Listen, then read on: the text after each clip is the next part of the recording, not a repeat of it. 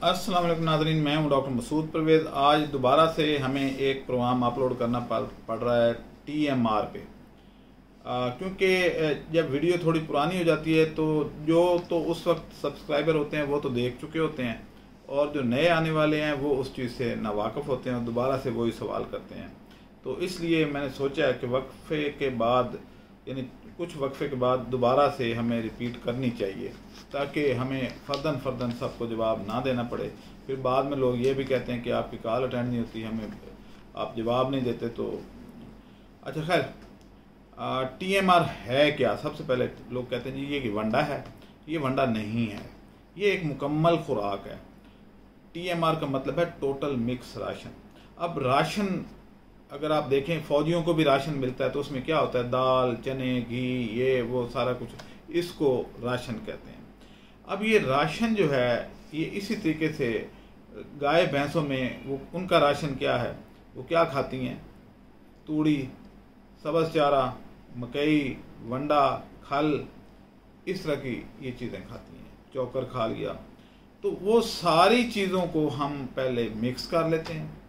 اور اس کو پیس کے آٹا بنا دیتے ہیں اور آٹا جب بن جاتا ہے تو اس کی کیپسول بنا دیتے ہیں چھوٹے چھوٹے۔ کچھ کیپسول ٹوٹ کے پاؤڈر بھی بن جاتے ہیں لیکن اس سے کوئی نقصان نہیں ہوتا۔ وہ اسی طریقے سے مفید ہوتے ہیں۔ منہ میں بھی تو جانور نے رگڑنا ہی ہے۔ تو کچھ اگر کیپسول ٹوٹ جائیں تو کوئی اس میں نقصان والی بات نہیں ہوتی۔ اچھا یہ جو ٹی ایم آر ہے، لوگ کہتے ہیں یہ دودھ بڑھانے کے لیے ہے یا یہ وزن بڑھانے کے لیے؟ بھئی یہ تمام جانوروں کے لیے ایکولی امپورٹنٹ ہے۔ اس کو آپ پولٹری فیڈ کے طور پہ بھی استعمال کر سکتے ہیں۔ اور یہ تمام جانوروں کے لیے اسی طریقے سے مفید ہے۔ جیسا کہ دودھ کے لیے آپ کھل ڈالتے ہیں اور کیونکہ اس میں کھل بھی شامل ہے، مکئی بھی شامل ہے، اس میں میل بھی شامل ہیں سارے۔ تو ان سب کو اگر پاؤڈر بنا کے تو آپ کر لیں تو جیسے مجون بنتی ہے۔ اچھا اب اگلا سوال جو آتا ہے میرے پاس کہ جی اس کے اجزاء کیا ہیں؟ تو وہ اجزاء میں نے بتا دیے کہ یہ ساری چیزیں جو آپ انفرادی طور پہ ان کو باری باری کھلاتے ہیں، تو وہ ساری اس میں پہلے سے موجود ہیں۔ تو اس کو مزید کچھ کھانے کی ضرورت نہیں ہوتی۔ اس کو سبز چارے کی، توڑی کی، علیحدہ علیحدہ ضرورت نہیں پڑتی۔ بس آپ نے یہی ڈالنا ہے۔ اس نے شوق سے کھا لینا ہے۔ پانی اس نے خود پی لینا ہے اور اس طریقے سے آپ کی ساری مصیبتوں سے جان چھوٹ جائے گی۔ یعنی ڈیری فارمنگ کرنا یا گوڈ فارمنگ یا شیپ فارمنگ کرنا بہت آسان ہو گیا ہے اس ٹی ایم آر کی وجہ سے۔ کہ آپ ابھی قربانی کے جانور آئے ہوئے ہیں، گلی گلی میں پھر رہے ہیں، تو آپ دیکھیں کہ گند ڈلا ہوتا ہے ہر گیراج میں کہ اس کے بچے ظاہر شوقین ہیں پھر آتے ہیں، کبھی چوکر لے کے آ رہے ہیں، کبھی اس میں جناب سبز چارہ وہ اوپر سے پتے کھا لیتی ہیں، بکریاں یا یہ تو وہ باقی ڈنڈیاں جو ہیں وہ ضائع۔ اسی طریقے سے بیل آئے ہوئے ہیں وہ تو ان کو کھال ڈالی جا رہی ہے، بڑا کچھ کیا جا رہا ہے۔ اور اکثر تو یہ ہوتا ہے کہ اوپر نیچے کر بیٹھتے ہیں اور بیمار ہو جاتے ہیں، پھارا ہو جاتا ہے اور وہ جانور جو ہے وہ کئی دفعہ بکرا عید سے پہلے قربان ہو جاتا ہے۔ اب یہ جو چیزیں ہیں، ان سب کا حل ٹی ایم آر ہے۔ تیسرا سوال جو میرے پاس آتا ہے، وہ کیا ہے جی کہ اس کے فوائد کیا ہیں؟ بھئی ایک تو یہ وزن بڑھاتا ہے، دوسرا آپ کی محنت کم کر دیتا ہے، آپ کا گھر صاف ستھرا رہے گا اگر آپ قربانی کے بر جانور لے کے آئے ہیں یا بکرے لے کے آئے ہیں۔ تو اب تیسرا یہ ہے کہ ڈیری فارمر کے لیے بہت مفید ہے، کیونکہ پہلے اب بکرا عید آ رہی ہے تو اکثر لوگوں کی ملازم جو ہیں عید منانے جائیں گے، واپس نہیں آئیں گے۔ تو مالک بیچارے خود لنگوٹی کاس کے تو اندر غصے ہوتے ہیں۔ تو آپ جان یعنی جانوروں کی دیکھ بھال جب ضرورت ہوتی ہے تو اس وقت آپ کی لیبر بھاگ چکی ہوتی ہے۔ تو عام دنوں میں پھر رہی ہوتی ہے ایڈوانس آپ کا لے کے بھاگ تو یہ لیبر سے جان چھڑا دیتی ہے۔ یعنی آپ نے ایک بوری کھولنی ہے اور کھرلی میں ڈال دیں تو وہ بیس پچیس جانوروں کے لیے کافی ہے۔ اب ڈالنا کتنا ہے؟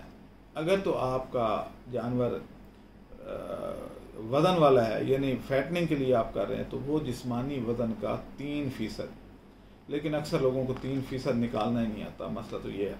تو یوں سمجھا دیتا ہوں کہ اگر سو کلو کا جانور ہے، تو تین کلو وہ، اس کو آپ نے یہ ڈالنا ہے۔ اس سے زیادہ وہ کھا ہی نہیں سکتا۔ اچھا اب اگر پھر کہتے ہیں جی اگر دو سو کا ہوگا تو پھر کتنا ہوگا؟ بھائی ڈبل ہو جائے گا۔ اگر سو کلو کا ہے تو وہ تین کلو کھا رہا ہے، تو دو سو کتنے؟ دو سو کلو کا جانور کتنا کھائے گا؟ چھ کلو۔ کچھ لوگ کہتے ہیں جی اگر وہ اس سے بھی زیادہ ہو، تین سو کلو ہو، تو بھائی یہ بات کو پوچھنے والی ہوتی ہے۔ جب فارمولہ بتا دیا کہ جسمانی وزن کا تین فیصد فیصد کہتے ہیں سو صد کو کیا کہتے ہیں؟ سو۔ تو یہ جو ہے، آپ نے تین پرسنٹ ڈالنا ہے ٹوٹل اچھا یہ ڈرائی میٹر بیسس پہ ڈالنا ہے۔ یہ نہ ہو کہ پہلے اس میں پانی ملا لیں، وہ پتہ چلے جی تین کلو تیس کلو ہو چکا ہے اور اس کا تین فیصد ڈال دیں، ایسا نہیں کرنا۔ کیونکہ یہ پانی میں گیلا کر کے بھی ڈالا جا سکتا ہے۔ اس میں جب یہ ڈالا جاتا ہے تو پھر وہ لوگ کہتے ہیں جی کہ اب یہ ٹھنڈا ہے اور اگر خشک کھائے گا تو یہ گرم ہے۔ حالانکہ اس میں ٹھنڈا گرم کا چکر نہیں ہوتا۔ وہ ہوتا صرف اتنا ہے کہ خشک چیز کھا لیں تو پیاس زیادہ لگتی ہے ظاہر ہے، اندر اس کو ڈائلیوٹ بھی تو کرنا ہے نا، پانی جاتا ہے اندر اور اس کو۔ ڈائجسٹ ہونے کے لیے وہ مددگار ثابت ہوتا ہے۔ تو پیاس لگتی ہے۔ اگر پہلے گیلا کر لیں گے تو پانی پہلے ہی چلا گیا تو پھر اس کو پیاس کم لگے گی کیونکہ پانی بھی خوراک کے ساتھ اندر چلا گیا۔ تو گرم ٹھنڈے کا کنسیپٹ نہیں ہوتا اس میں۔ اب اگلا جو سوال آتا ہے وہ آتا ہے جی کہ کہاں سے اویلیبل ہے اور قیمت کیا ہے؟ اگر آپ ملتان سے لیتے ہیں تو آپ کو ستائیس سو روپے کا ایک بیگ جس کا وزن چالیس کلو ہے۔ وہ ملے گا۔ اوپر کوئی تھوڑے بہت جو آپ کے آنے جانے کے اخراجات ہیں وہ ہو سکتے ہیں، تو یہ بہت سستا ہے۔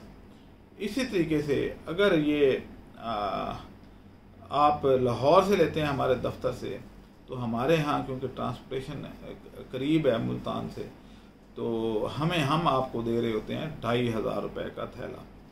اور یہ عام لوگوں کے لیے دعوت عام ہے کہ وہ ایک تھیلا بھی آج کل لے کے جائیں گے تو ہم دے دیتے ہیں کیونکہ ظاہر ہے وہ ایک، دو یا تین بکرے ان کے پاس ہوتے ہیں، تو اس کے لیے زیادہ تو نہیں لے سکتے، بلکہ اس کی ریڈیوس پیکنگ بھی ہم دینا چاہ رہے ہیں کہ دس دس کلو کی دے دیں تاکہ بکرا عید تک لوگوں کو سہولت میسر ہو جائے۔ ہمارا جو دفتر ہے لاہور میں، وہ ہے واقعہ Iqbal town, Huma block flat number two تو یہاں پہ ہمارا آفس ہے، آپ یہاں سے آ کے وصول کر سکتے ہیں۔ اسی طریقے سے ملتان میں ہمارا سوئی گیس کے دفتر کے ساتھ، جس کو پیرا غائب روڈ کہتے ہیں، وہاں پہ ہمارا یہ آفس ہے، وہاں پہ بھی یہ اویلیبل ہے۔ یہ فیصل آباد میں بھی ہمارے پاس اویلیبل ہے۔ یہ مری میں بھی ہمارے پاس اویلیبل ہے۔ کراچی میں ابھی فی الحال نہیں ہے، تو باقی جگہوں پہ موجود ہے۔ آل دو کہ کراچی میں ہمارا دفتر تو موجود ہے، لیکن یہ ٹی ایم آر وہاں اویلیبل نہیں ہے۔ اچھا اب قیمت بھی بتا دی میں نے۔ تو آپ کے لیے یہ بہت اچھی اپرچونٹی ہے کہ ملتان میں کافی بڑا سٹاک موجود ہے۔ آپ وہاں سے لے سکتے ہیں۔ ملتان کا نمبر اوپر دے رہے ہیں ہم۔ لاہور کا نمبر بھی دے رہے ہیں۔ Zero three zero zero zero والا جو نمبر ہے یہ ملتان کا ہے۔ اور باقی نمبروں سے تو آپ واقف ہی ہیں۔ اب مجھے اجازت دیں۔ اللہ حافظ۔